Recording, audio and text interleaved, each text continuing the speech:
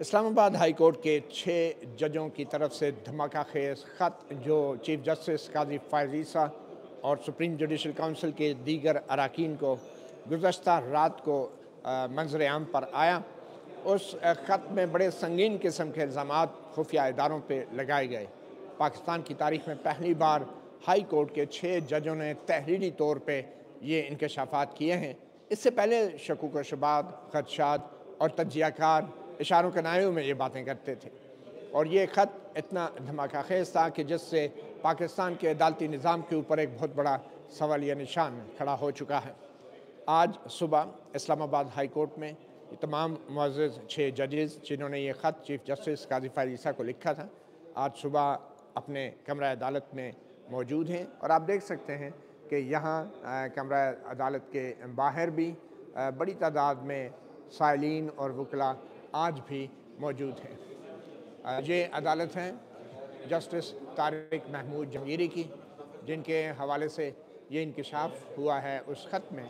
और उस ख़त में जस्टिस तारिक महमूद जहांगीरी के भी दस्खत मौजूद हैं कि जस्टिस तारिक महमूद जहांगीरी को जब सरकारी रिहाइश गाह दी गई तो उस सरकारी रिहाइश गाह के अंदर से खुफिया कैमरे बरामद हुए और उन कैमरों के मेमोरी कार्ड से वो वीडियोज़ बरामद हुई जो उनके अहल खाना उनके बच्चों, उनकी बेगम और फैमिली मेंबर्स की थी और उन वीडियोज़ को इस्लामाबाद हाई कोर्ट के कुछ जजेस ने भी देखा।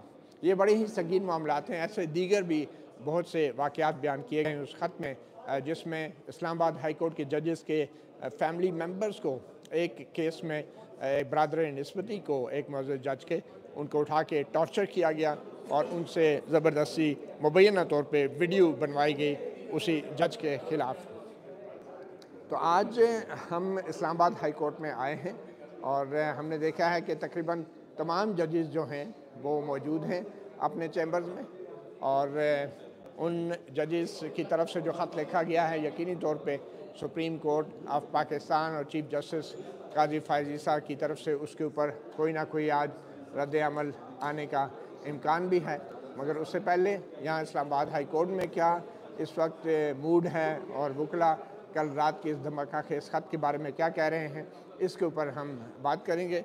और बात करने के लिए आज हमारे साथ मौजूद हैं अमजद अली शाह साहब एडवोकेट जो कि सबक वाइस चेयरमैन हैं पाकिस्तान बार कौंसिल के। अमजद अली शाह साहब, बड़ी ही एक खौफनाक और इनफैक्ट शर्मनाक किस्म की वाक़ात और इल्ज़ाम सामने आए हैं पाकिस्तान के रियासी इदारों के हवाले से।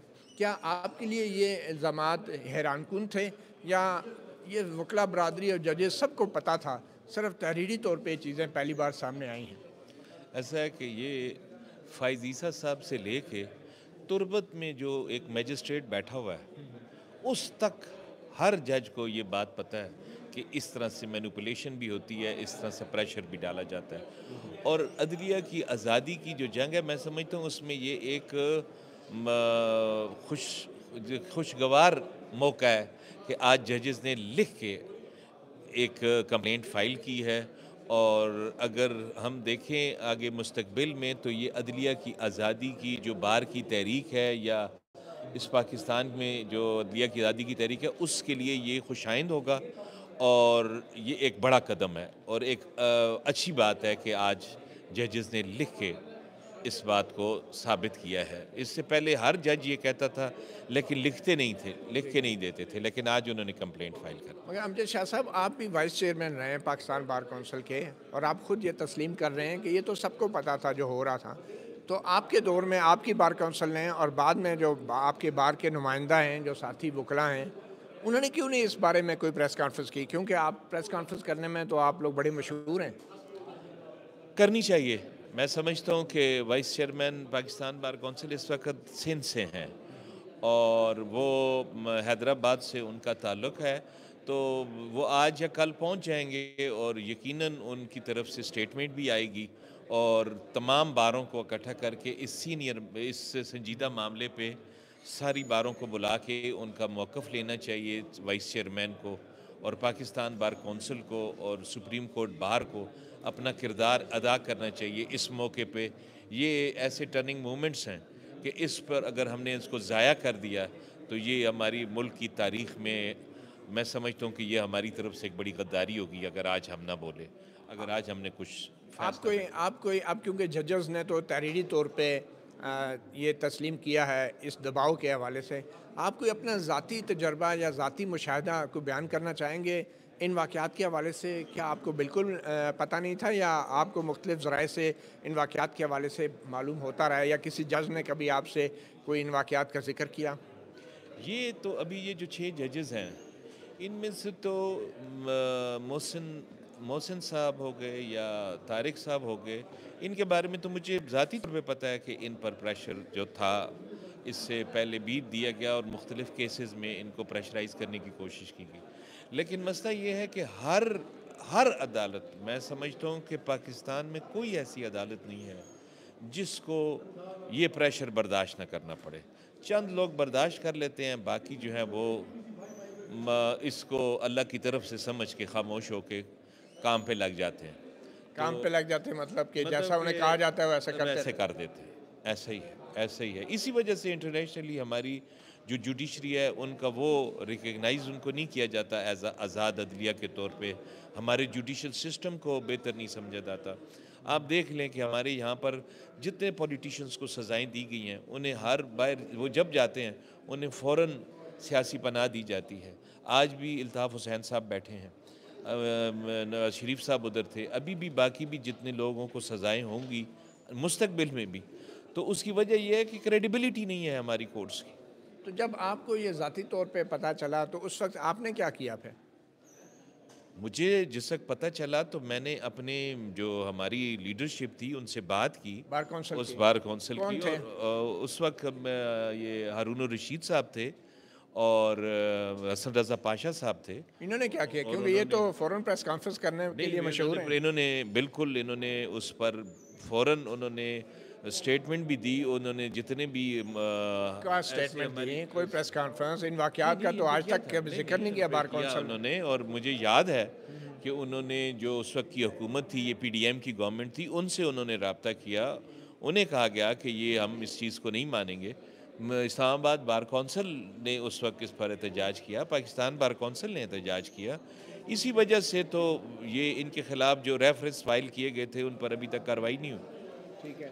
तो आप ये बताएँ कि क्या करना चाहिए चीफ जस्टिस काजी फरीसा को? इसमें तो सबक चीफ जस्टिस उम्रता बंदयाल पर संगीन इल्ज़ाम है, सबक जज सुप्रीम कोर्ट जस्टिस एजाजुल पर संगीन इल्ज़ाम है कि उन दोनों से मई 2023 में मुलाकातें की इन छः जजों ने, फिर भी कुछ नहीं हुआ। और फिर उसके बाद जब चीफ जस्टिस काजी फरीसा चीफ जस्टिस बन गए, उन्होंने भी कुछ नहीं किया।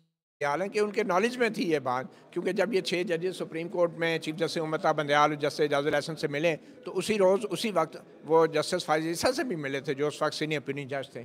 तो आज तक चीफ जस्टिस काजी फाइजा ने जो इसके ऊपर कोई कार्रवाई नहीं की आप उसको कैसे देखते हैं? मैं समझता हूँ कि उन्हें करनी चाहिए कार्रवाई। करनी चाहिए थी और आप करनी चाहिए। थी भी और करनी चाहिए भी। तो आपके ख्याल में क्यों खामोश रहे?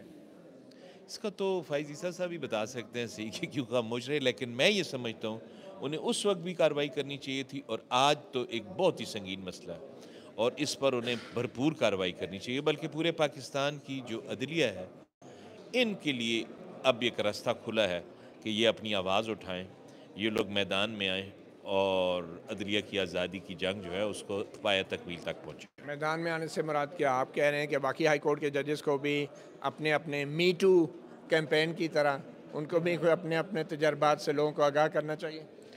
देखिए बहुत सारी दुनिया की तारीख हमारे सामने है। एक वो आपको याद होगा 2008 में वो कौन से जजेस के बारे में जिनको ड्रग माफिया वाले जो थे उठा लिया करते थे? कोलंबियन जजेस। तो आज हमें हमारे जजों को भी उनकी उस तरह की तहरीक की ज़रूरत तो चीफ जस्टिस काजी फाइजा को अब क्या करना चाहिए? वो चीफ सुप्रीम जुडिशल काउंसिल के सरबराह भी हैं तो आपके ख्याल में सुप्रीम जुडिशल काउंसिल इस ख़त को अब एक कंप्लेंट की सूरत देकर सो मोटो कार्रवाई कर सकती है और तहकीकात कर सकती है? देखिए सुप्रीम जुडिशल काउंसिल जो है वो तो आर्टिकल 209 के तहत और उन्होंने जो अपने 2009 के जो उनके रूल्स हैं उनके तहत उनको एक ख़ास उनकी जुरिस्डिक्शन है उसमें वो बात करेंगे। ये ऐसा मसला है कि इसमें पूरे पाकिस्तान के जजेस को इकट्ठा बैठ के इस पर एक कंसेंसस करना चाहिए और इस पर इन्हें एक भरपूर किस्म का मैं कहता हूँ कि मौका है इनके पास। जैसा कि तीन नवंबर 2007 को वकला तहरीक चली थी आप समझते हैं कि ये वाक़ भी उतना ही संगीन है और इसके ऊपर भी बार और बेंच को इकट्ठा होना चाहिए? बिल्कुल होना चाहिए। ये ये उससे भी ज़्यादा संगीन वाक़ है। वो वाक़ इतना संगीन नहीं था जितना मैं इसको समझता हूँ। और बिल्कुल बार को जजेस के साथ खड़ा होना चाहिए। और ये वो मौका है कि आपने अपनी कौम के साथ अपनी हबुलवतनी का मुजाहरा करना है। और इस निज़ाम को बेहतर करने के लिए आज़ाद अदलिया का जो आपका ख्वाब है, उसे पूरा करने का एक मौका है आपके पास। मगर इसका तरीक़ाकार क्या होगा? क्या जुडिशल काउंसिल जो है इस मामले की तहकीकात कर सकती है? जुडिशल काउंसिल तो तहकीकात कर सकती है नहीं लेकिन चीफ जस्टिस कमीशन बना सकते हैं और वो, वो एक सो मोटो इस पे लेके। हाँ सो मोटो लेके या इस कंप्लेंट को वो लेके और उस पर वो कार्रवाई कर सकते हैं। मतलब चीफ जस्टिस के हाथ नहीं बंधे हुए। अच्छा इस खत के जो मंदराजात हैं उससे तो ये लगता है कि चीफ जस्टिस आमिर फ़ारूक को बार बार ये तमाम जजेस बताते रहे कि उनके साथ उनके अहल खाना के साथ क्या होता रहा है। मगर चीफ जस्टिस आमिर फ़ारूक जो हैं बज़ाहिर इस पर बिल्कुल खामोश रहे। तो आप समझते हैं कि ये एक किस्म की चार्जशीट भी है चीफ जस्टिस आमिर फ़ारूक के ख़िलाफ़? है ये बिल्कुल है। अगर चीफ जस्टिस के नॉलेज में थी ये सब चीज़ें तो ये छः जजेस के बजाय चीफ जस्टिस को ख़ुद ख़त लिखना चाहिए था। इतनी बड़ी जो हंगामा चीफ जस्टिस आमिर फ़ारूक हाँ जी उनको खुद लिखना चाहिए था। तो अभी चीफ जस्टिस आमिर फ़ारूक जो हैं क्या उनके ख़िलाफ़ जुडिशल काउंसिल प्रोब कर सकती है? इसके बारे में मैं कुछ कह नहीं सकता ये कबल अज वक्त होगा कि लेकिन ये कंप्लेंट तो हो गई ना मोटा अख्तियार तो है जुडिशल काउंसिल का। ये जुडिशल काउंसिल को अख्तियार तो है लेकिन इन छः जजेस ने जिस तरह से किया जो इनकी अपनी शिकायत थी और लगता भी है कि वो जैनवन किस्म की शिकायत है इनकी। इस पर आमिर फ़ारूक साहब ने अगर कमज़ोरी दिखाई है तो अब तो बात बहुत ऊपर की है। अब उन्हें जहाँ पर इस वक्त ये दरख्वास्त पड़ी है उन्हें कमज़ोरी नहीं दिखानी चाहिए। आपके ख्याल में चीफ जस्टिस आमिर फारूक माफ़ नहीं करेगी। आपके ख्याल में चीफ जस्टिस आमिर फारूक को क्या करना चाहिए? चीफ जस्टिस आमिर फारूक साहब को इन्हीं की आवाज़ में आवाज़ मिला देनी चाहिए या रिजाइन मिला देनी चाहिए। या फिर? अब भी मिला दें तो ठीक है। वरना? या फिर मतलब घर चले जाएँ छोड़ दें रिज़ाइन कर दें। और क्या उनके पास और क्या दो ही ऑप्शन हैं? या इनके साथ होंगे या घर चले जाए? एक तासर ये भी है कि जिन छः जजों ने इतने संगीन इल्ज़ाम तो लगा दिए रियासी इदारों पर मगर आज वो बिल्कुल मामूल के मुताबिक अदालतों में काम करने के लिए भी आ गए। लोग कहते हैं कि अगर इतना ही मामला संगीन है तो फिर इन जजों को तो इस्तीफ़ा दे देना चाहिए। नहीं जजों को इस्तीफ़ा बिल्कुल भी नहीं देना चाहिए। ये जज इधर इस्तीफ़े देने के लिए नहीं बैठे हैं।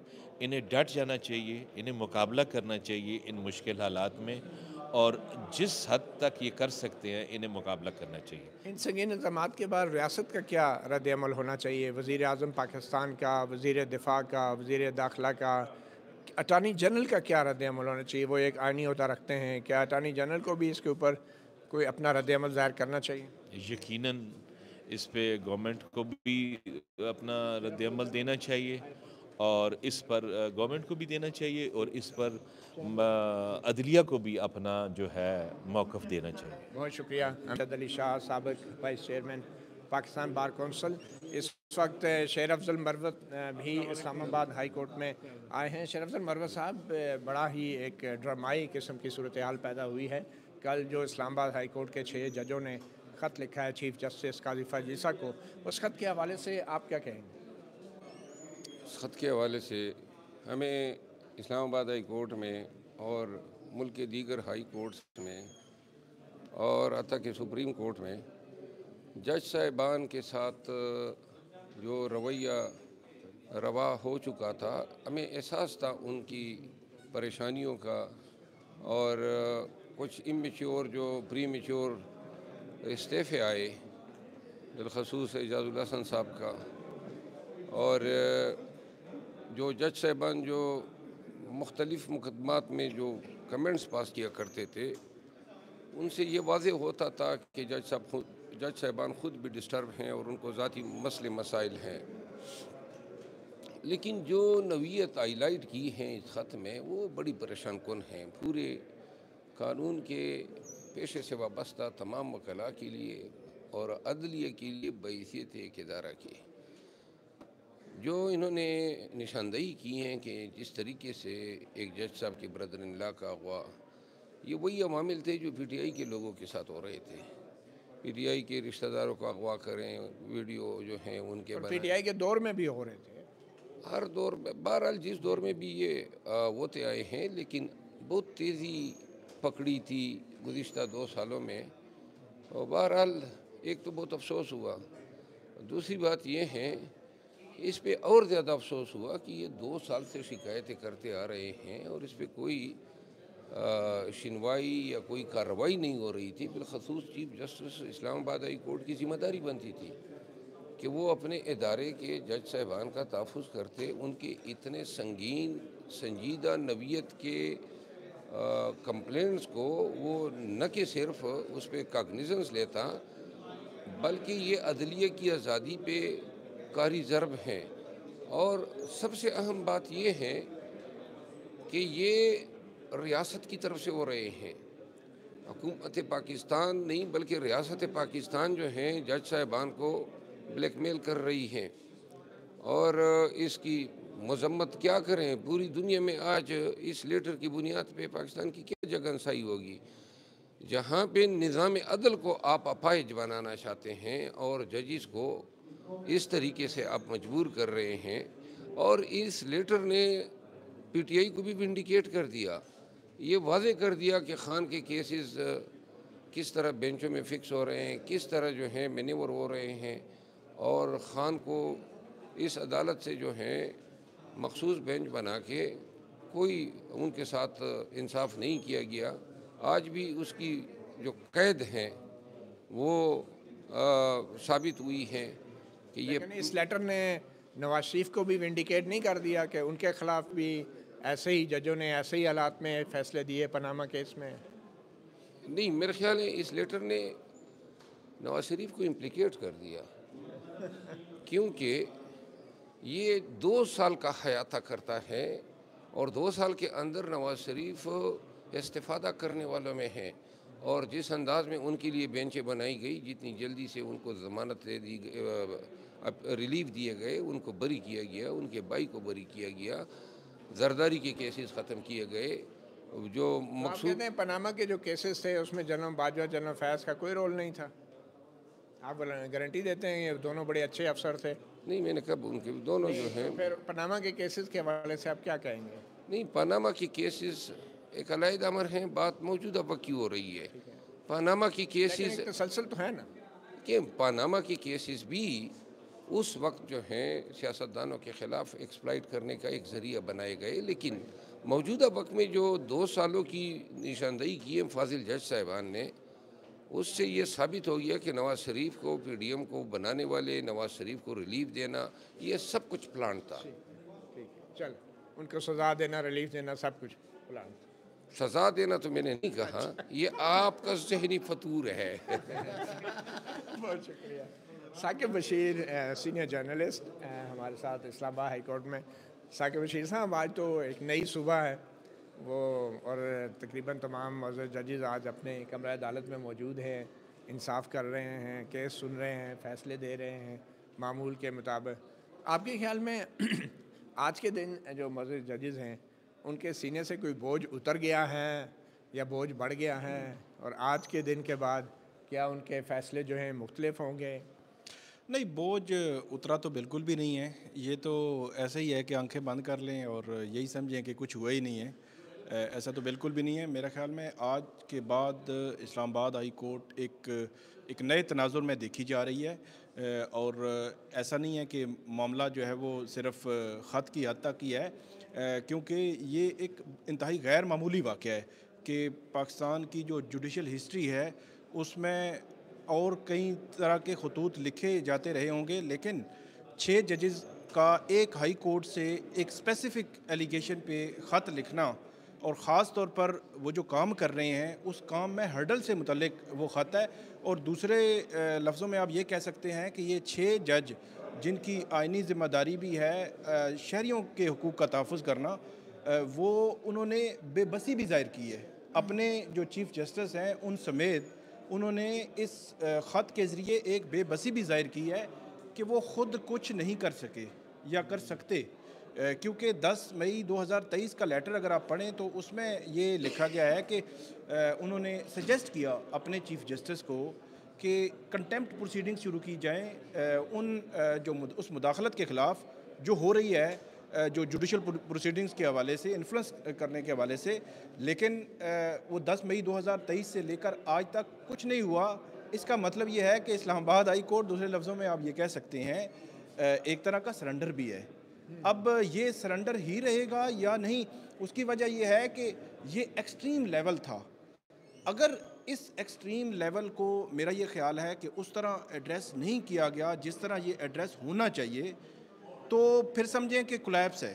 पहले ही बहुत एक अदम अतमाद की सूरत हाल तो है जो अदलिया पर आवाम आवाम का और पब्लिक का जो अतमाद जो होना ज़रूरी होता है, वो है। तो उस लिहाज से तो मेरा ख्याल में बड़ा खौफनाक होगा। फिर एक और बात बड़ी इंपॉर्टेंट है कि जस्टिस शौकत अज़ीज़ सदीकी ने जो एलिगेशंस लगाए थे, वो एलिगेशन और ये, इसमें थोड़ी सी सिमिलैरिटीज़ भी कहीं ना कहीं हैं। और ख़ास तौर पर इन्होंने भी उसको सपोर्ट किया है, उन, उन्होंने कहा है कि जो तहकीकात का उन्होंने कहा है, इस सुप्रीम कोर्ट के फैसले के बावजूद, कि उन्होंने कहा है कि हम सपोर्ट करते हैं कि उन एलिगेशन की भी तहकीकात की जाए। अब जो सुप्रीम जुडिशल काउंसिल है या सुप्रीम कोर्ट ऑफ़ पाकिस्तान है उसने उस वक़्त इस पर गुस्से का इजहार किया या उस वक़्त अपने एक सिटिंग जज को घर भेज दिया कि आपने जो एक्ट किया है इसमें कोई मसला नहीं है। आप यही काम जो है वो हमें बताते तहरीरी तौर पे हमें बताते हम इस पे एक्शन लेते। ले, लेकिन आप जो गए हैं वहाँ पे एक पब्लिक में जाकर आपने गुफ्तु की है वो मिसकंडक्ट है। ठीक है अब चीफ जस्टिस काजी फायसा के ऊपर बड़ी भारी ज़िम्मेदारी अब आ गई है। और उनको क्या करना चाहिए आपके ख्याल में? एक बात तो ये है कि जहाँ पे इस ख़त में chief justice Islamabad high court के हवाले से ये बताया गया है कि उनको हमने आगाह किया था। उसी ख़त में मई 2023 का जो हवाला दिया गया है, उसमें ये कहा गया है कि उस वक़्त के चीफ़ जस्टिस बंदयाल और जो उस वक़्त के सीनियर प्यूनी जज थे सुप्रीम कोर्ट के जस्टिस काजी फाइज ईसा उनको भी जो 10 मई ख़त के हवाले से जो वाक़ात हैं वो वाक़ात मदीउल्ला जान साहब अगर आप पढ़ें तो बड़े कंक्रीट हैं स्पेसिफिक हैं। उन्होंने एक एक जज का लिखा है कि एक एक जज के साथ क्या हुआ। तो इसका मतलब ये हुआ कि उस वक़्त के जो वाक़ात हैं उनसे उनकी आगाही चीफ जस्टिस काजी फाइज ईसा को दी गई। बतौर सीनियर प्यूनी जज बतौर सीनियर प्यूनी जज अगरचे वो अपने जो चीफ जस्टिस है उनको कह सकते थे, उनको सजेस्ट कर सकते थे कि इस पर कोई एक्शन लिया जाए, इन चीज़ों को रोका जाए और ये जो इंसाफ का जो निज़ाम है, उसमें रुकावट, बहुत बड़ी रुकावट बन रही है। उन्होंने किया या नहीं किया, अब ये हमें नहीं पता। लेकिन अभी जो आपका सवाल है, मेरा ये ख्याल है कि उनकी बहुत बड़ी ज़िम्मेदारी है और इस ज़िम्मेदारी को उन पर निभाना ज़रूरी है। अगर वो नहीं इस पर एक्ट करते मेरा ये ख्याल है अब एक बात ये भी आ रही है कि सुप्रीम जुडिशल काउंसिल एक डिफरेंट किस्म की बॉडी है कि जहाँ पे जजेस के मिस जो मिसकंडक्ट है उसको देखा जाता है। तो इस जो लेटर लिखा गया है इस लेटर में भी जजेस ने वो जो सूरत हाल लिखी है उसमें लिखे ये है कि अगर ऐसी सिचुएशन बन जाए तो फिर कहाँ जाना है? जजेस क्या करें? जजेस क्या करें? और शौकत सदीकी को क्या करना चाहिए? जी, जी बिल्कुल शौकत सदीकी को क्या करना चाहिए था और हमको क्या करना चाहिए था कि जब हमारे साथ जो बीत रही थी, हम तो हर स्टेप पे अपना जो चीफ जस्टिस है, उसको रिटर्न में इन्फॉर्म कर रहे थे कि ये भी हो रहा है, ये भी हो रहा है, ये भी हो रहा है। एक चीज़ और मतीउल्ला जान साहब, के ये जो दो लेटर एक 10 मई 2023 का और एक 12 फरवरी 2024 का सामने आया है, इन लेटर्स के अलावा भी, ये तो तहरीरी तौर पे चीज़ें थी, इन्होंने साथ मुंसलिक कर दी, इसके अलावा भी बहुत जो है वो यहाँ पे मीटिंग्स होती रही हैं। इनसाइड इस्लामाबाद हाई कोर्ट और इस्लामाबाद हाई कोर्ट के जो जजेज़ हैं पिछले दो अढ़ाई हफ़्ते ये कोशिश की गई कि ये मामला यहीं पर रहें, ये बाहर ना जाएँ। लेकिन इसके बावजूद मेरा ये ख्याल है कि ये मामला यहाँ पे सेटल नहीं हुए। ठीक है, ये तो लगता है साकिब बशीर साहब वो शेर है ना कि ये मुनसफ़ क्या इंसाफ देंगे, ये मुनसफ़ खुद ही कह दी हैं। वो बड़ा अच्छा एक शेर है, मेरे से याद नहीं आ रहा। और हम मीडिया वाले लोगों का भी केस लगा है। आज भी चीफ जस्टिस काजी फाइसा का बेंच सहाफ़ियों को हरासा करने के हवाले से केस की समात कर रहे हैं। तो यहाँ पे तो हम देख रहे हैं कि जो जजेस खुद बेचारे हरासा हो रहे हैं वो सहाफ़ियों को क्या इंसाफ देंगे? और मुझे लगता है कि जहाँ हाई कोर्ट के जजों का ऐसी सूरत हाल का सामना है तो वो सब इंस्पेक्टर या वो ए एस आई जो साफ़ियों को हरासा करने के मुकदमात की तफ्तीश कर रहा है, या उनको अगवा, या उनको गोली मारने की, या तशद करने की, वो sub inspector A S I का क्या हाल होगा? अगर हाई कोर्ट के जजों के साथ ये कुछ हो रहा है तो फिर क्या सुप्रीम कोर्ट को ऐसे मामला जो हैं इन पुलिस के हवाले कर देने चाहिए? या फिर जो सो मोटो लिया है उसको मनतकी अंजाम तक पहुँचाना चाहिए सहाफ़ियों के केस में? जी बिल्कुल जो सहाफ़ियों का केस है उसको बिल्कुल मनतकी अंजाम तक पहुँचाना चाहिए। आ, असल में जिस तरह आपने कहा कि ये कनेक्ट कर रहा है सारी सूरत हाल को सहाफ़ियों का केस भी। अब सहाफ़ियों के केस में भी हम ये देखते हैं कि कहीं ना कहीं आवाज़ें दबाने के लिए और जो लिख रहे हैं उसको रोकने के लिए ये मुख्तलिफ़ किस्म के हरबे इस्तेमाल किए जाते हैं। कभी एफ़ आई ए नोटिस भेजती है, वो इस किस्म की चीज़ें होती हैं। और वो एडमिटेड हैं वो रिकॉर्ड पे आ चुकी हैं असद अली तूर का केस आपके सामने है। उसके साथ आप सौ इख्तलाफ करें कि असद अली तूर को ये कहना चाहिए था या ये नहीं कहना चाहिए था। असद अली तूर के खिलाफ जो केस है रिकॉर्ड पे कानून की नज़र में सुप्रीम कोर्ट ने अटॉर्नी जनरल ने फिर हाई कोर्ट ने ये कहा कि ये गलत नोटिस भेजे गए हैं ये नहीं भेज सकते थे ये अट्रैक्ट नहीं कर सकते। तो तो ये सूरत ये जो सहाफ़ियों का केस है ये सिचुएशन के साथ बिल्कुल लिंक कर रहा है। यहाँ पे जो हाई कोर्ट के जजेज़ हैं इन्होंने ही आर्टिकल 199 में जब प्रोटेक्शन चाहिए होती है किसी भी सहाफ़ी को किसी भी आम शहरी को तो वो इनके पास आते हैं कि हमें जी हरासा कर रही है एफ़ आई ए या कोई इस किस्म की पुलिस कर रही है हरासा तो रोकें। तो इन जजेस को जब तक प्रोटेक्शन अपनी नहीं होगी तो वो अगलों की प्रोटेक्शन कैसे करेंगे? कैसे ये तो बड़ा सवाल है। अच्छा ये बताएँ कि कहा जाता है कि अदलिया की आज़ादी और मीडिया की आज़ादी दोनों एक दूसरे के लिए लाजम मलजूम हैं। तो हम देख रहे हैं कि जजों के ख़त के हवाले से मीडिया पर भी इस खबर को बड़ा महदूद अंदाज से रिपोर्ट किया जा रहा है और वो तमाम तफसीत मीडिया पर नहीं बताई जा रही जो इस ख़त में जिन वाक़ात का ज़िक्र है। और यही मीडिया वाले इस्लामाबाद हाई कोर्ट या दूसरी हाई कोर्टों में फिर इंसाफ मांगने जाते हैं। बड़े बड़े मीडिया ग्रुप्स जो हैं, जो अब ये मुकम्मल तौर पे ख़बर भी नहीं दे रहे इन जजों के साथ क्या हुआ है। वो अब इंसाफ जब मांगने आएँगे और अपनी आज़ादी राय के लिए अदलिया में आएँगे तो आपके ख्याल में आ, मीडिया का जो रोल है वो मस्बत है इसमें और जो उन्हें करना चाहिए वो कर रहे हैं इस खत के हवाले से?